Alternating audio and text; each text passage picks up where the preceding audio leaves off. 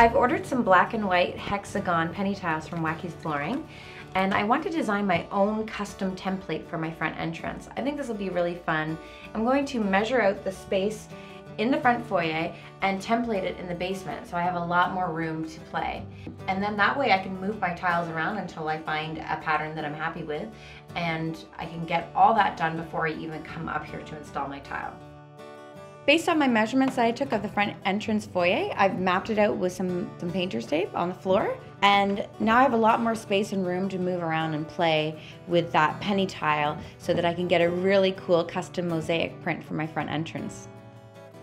I posted a little teaser of my front entrance tile mats on Instagram.